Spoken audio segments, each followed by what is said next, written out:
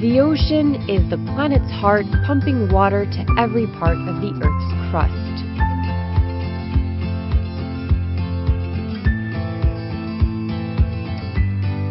The ocean connects people across the Earth no matter where they live. The ocean regulates the climate, produces oxygen, and helps to feed people.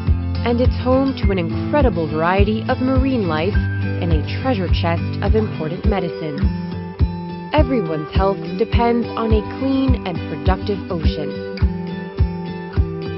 To ensure the health and safety of our planet, we must take responsibility to care for the ocean as it cares for us.